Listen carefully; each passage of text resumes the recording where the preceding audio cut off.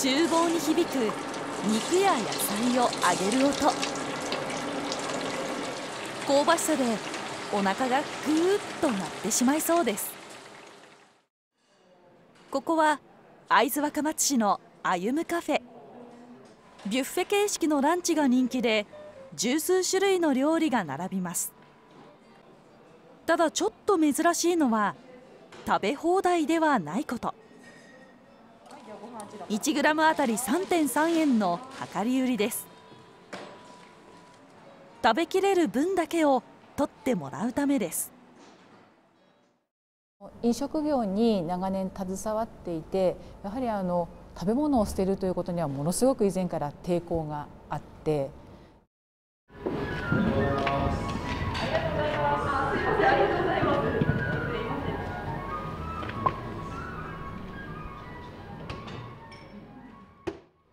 食事を終えたこちらのお客さんは店内のゴミ箱を持ち上げて目を丸くしています。すごいこれで測れるんだ。これ、ね、予想なんて出るんだ。なんかねそうなのすごいよね。普通のゴミ箱では見かけない画面がついていて何やらいろいろな数字が。よーく見ると食べ残し量と表示されています実はこれ捨てたゴミの重さが一目でわかるスマートゴミ箱。店と同じ施設に入居する IT 企業が開発しました。まあ、例えば こうこういうおもちゃですけど捨てますと今この食べ残し量っていうのがこんな形で 52g に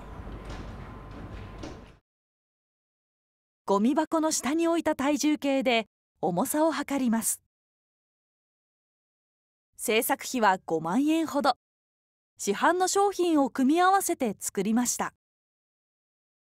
まあ、自分がどれだけこう、まあ、食べてるのかっていうのが実はまあデータで取れてるって話とあとじゃあ今度自分がどれだけ残すのかっていうのもこれもあのデータで取れて、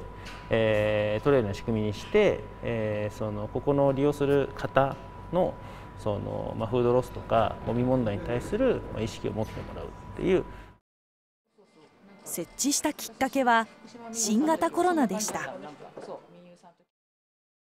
感染の拡大でビュッフェから定食に変更したところ食べ残しの量が10倍近くに増えたそうです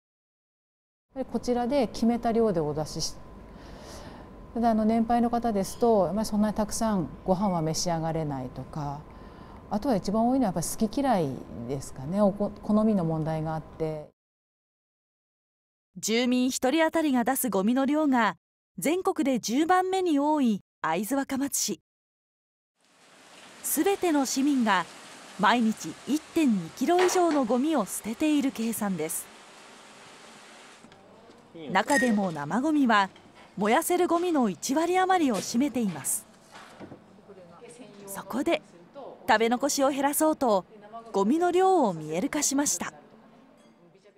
体重計がない状態で ダイエットしているようなものでして体重計があって自分の活動が、えー、こういった成果が出てるんだなみたいなところが分かるとモチベーションもつながるでしょうしあるいは意識をしていこうっていうことになると思うんですよね。ゴミの量を減らそうっていう気持ちになります。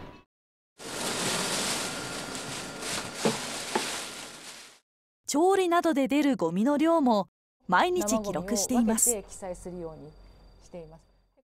あのできるだけその生ごみの量があまり多くならないような調理法に切り替えたりですとかあの汚れているものに関しては洗うようにしてあのプラスチックごみはプラスチックごみとして捨てるようになりました料理を作りすぎないように心がけていますが売れ残ったらテイクアウト用に販売します。写真撮るの本当上手じゃなくて本当嫌になっちゃう。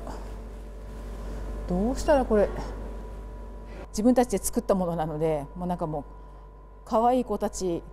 とにかくどなたかに の手元に届くようにちょっとでもなんかよく取ってあげてあの最後まであの頑張って売ってあげたいと思います。販売する惣菜を毎日 SNS で発信、